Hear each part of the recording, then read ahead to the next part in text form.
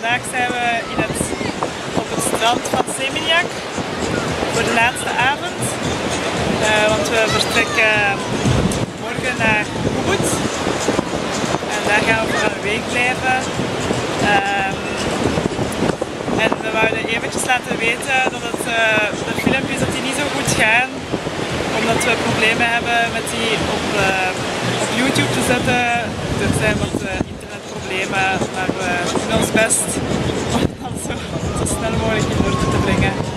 Het gaat, er zijn oplossingen, Ja, maar ja, ja, niet in het hotel waar dat we nu verbleven. We hebben heel veel, eh, heel veel oplossingen zitten zoeken en we hebben er nu eindelijk in gevonden, maar die is, ja, is niet zo gemakkelijk. Dus Maar het komt goed. ja. Ehm, jullie kunnen wel nog eh, alle foto's en zo meevolgen op de blog.